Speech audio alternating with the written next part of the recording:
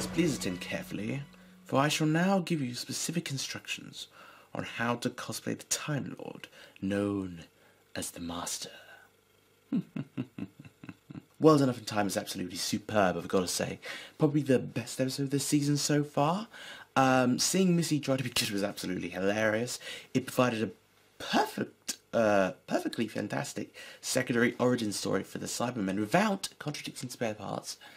And it made them creepy as hell for the first time in a very, very long time. But of course, the main attraction was the return of the John Simm Master, who was glorious as both Razor and as, well, Master. He and Missy will be outstanding together, I can see it now. Only a few more days at, as of the time this video is uploaded until we get to see them properly together on screen interacting with their chemistry. It's going to be superb.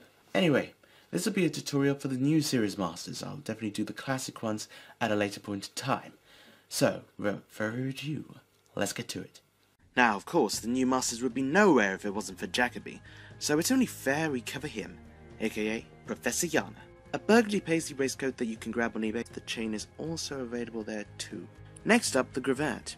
Now, this is a strange cravat that you probably have to get custom made, really. However, a little cheat that I use myself is to start tying a black tie around your neck as you put a lace, and shove the ends through the twist and pull until it looks satisfactory.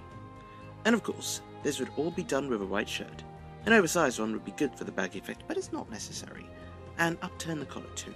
Next, you just need black trousers and boots, and if you can, a fob watch. These are available from Etsy or Amazon, depends on how much you want to spend and which you deem better. Now we move on to Simm. Obviously, Jacobi's can function as a post-regeneration look for Simm, but let's get on to his primary look, the suit, which he donned in The Sound of Drums and Last of the Time Lords. Now, naturally, this is a very easy look to go for when cosplaying the Master.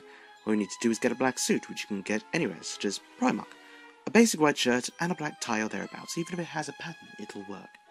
Black boots too, and maybe a red-lined overcoat if you feel like showing off. The Master also wears his signet ring. It's also used to bring him back to life later on, so it's a great addition to your cosplay, if a little bit pricey. As well as this, you'll need the good old laser screwdriver. These are lacking in a recent re-release, but look around eBay and Amazon to grab one. Just be careful the price tags. Now we're over to the end of time. Having gone through death and resurrection, the Master's body is a bit on the fritz, and he needs a bit of a disguise, otherwise people may not take too kindly to seeing a former Prime Minister on the loose. This version of Simm is also pretty easy to cosplay. All you need is a black hoodie, not a zip-up one like 12's, but a plain one, and a red t-shirt, plus black trousers and black shoes.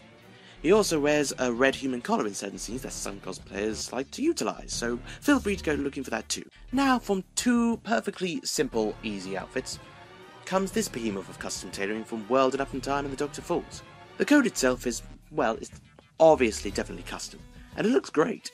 I'll probably be able to give you a proper update on it when someone hopefully makes a replica, but for now, a Crombie S coat can work as an alt.